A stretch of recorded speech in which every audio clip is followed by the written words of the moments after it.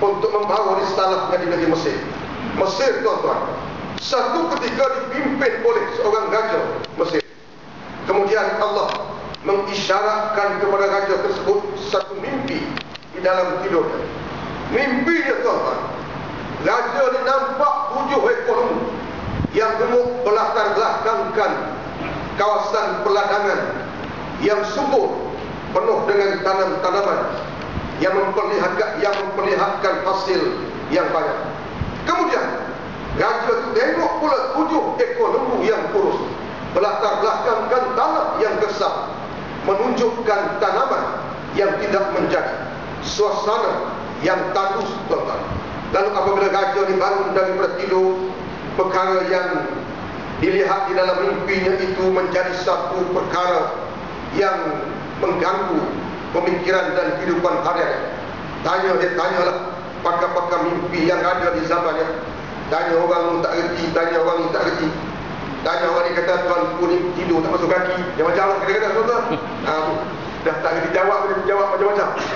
Kemudian kebetulan tuan-tuan salah seorang sahabat kepada Nabi Yusuf alaihissalam yang terpenjara bersama dengan Nabi Yusuf kemudian dia dibebaskan terlebih awal dari Nabi Yusuf AS dia tengok raja dia ni dah jadi satu macam.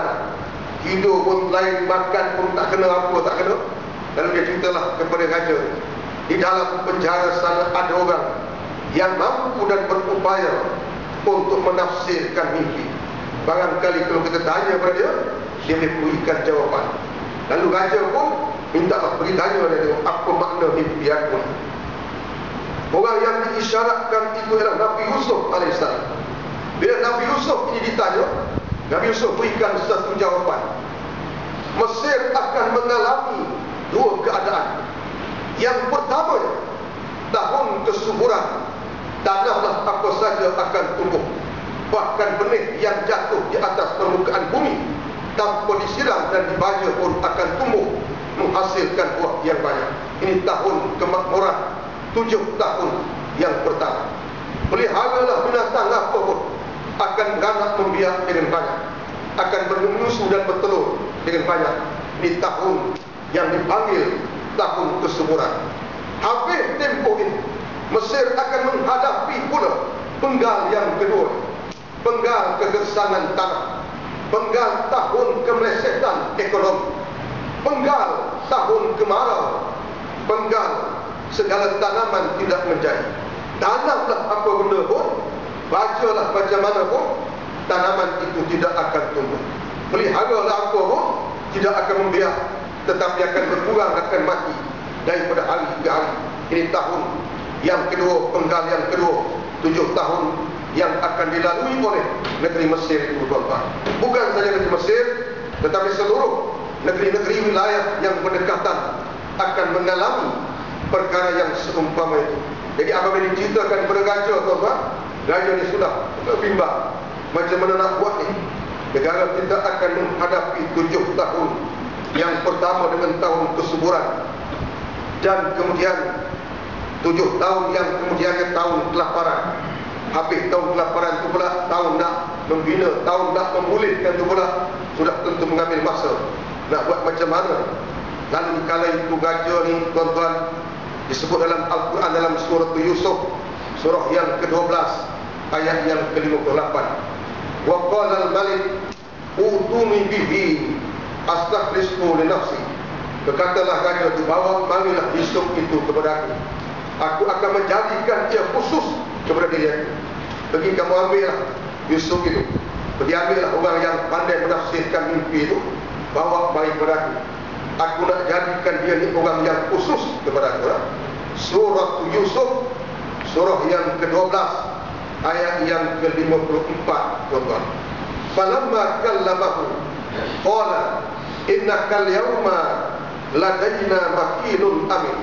Maksudnya, dan apabila Raja itu berkata-kata bercakap-cakap dengan Yusuf Lalu dia mengatakan bahawa Innakal yawma ladaina makinun amin sesungguhnya engkau di sisi kami bermula pada hari ini adalah mempunyai kedudukan yang tinggi dan sangat dipercayai tuan sebahagian daripada maksud kedudukan yang tinggi dan sangat dipercayai itu memberi isyarat kepada kita.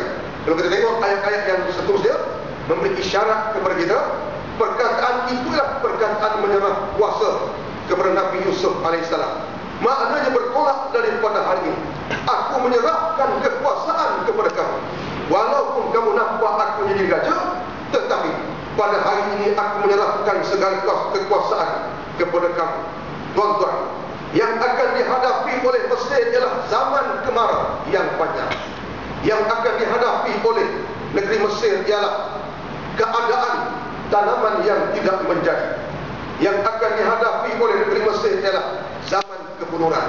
Logik akal kita ya tuan-tuan. Raja dah tahu dah. Negara Mesir akan menghadapi zaman kebunuhan. Zaman tak cukup makan. Setelah melalui zaman kemakmuran dan zaman kesuburan. Logik akal kita, kalaulah macam itu, panggillah segala ahli pertanian. Panggillah segala penternak. Panggillah segala pedagang. Buat satu taklimat kepada mereka. Tetapi di dalam soal pembentukan ini tuan-tuan, maka raja menyerahkan kuasa kepada Nabi Yusuf AS. Memberi faham kepada kita.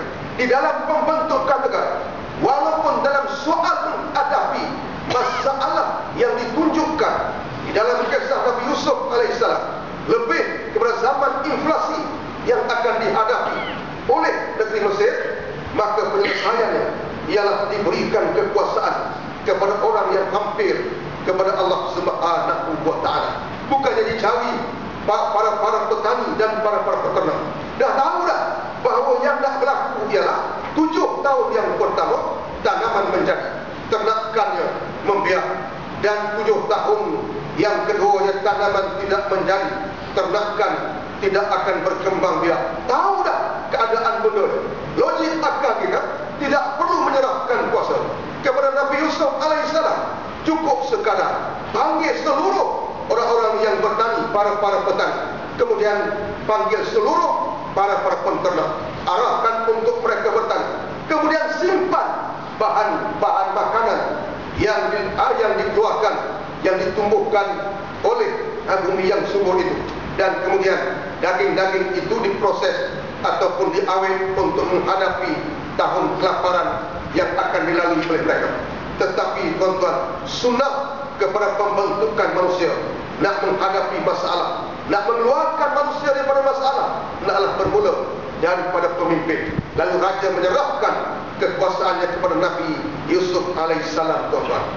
Ini berlaku dalam al-sirah, dalam Al-Quran dan dalam kitab Nabi Yusuf alaihissalam tuan-tuan. Dan kemudian yang keempatnya tuan-tuan dalam masa yang sikit ya,